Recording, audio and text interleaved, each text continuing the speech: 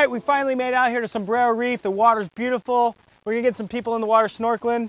Dive instructor Will is gonna take me down there. We're gonna find a shark. Let's go.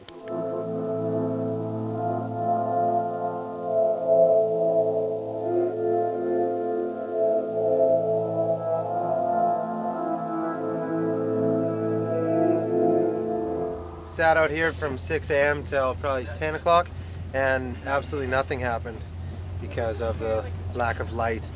But we got to hang out in the boat. I mean, we don't get to do much of that, so it was good to get out and just kind of sit and visit.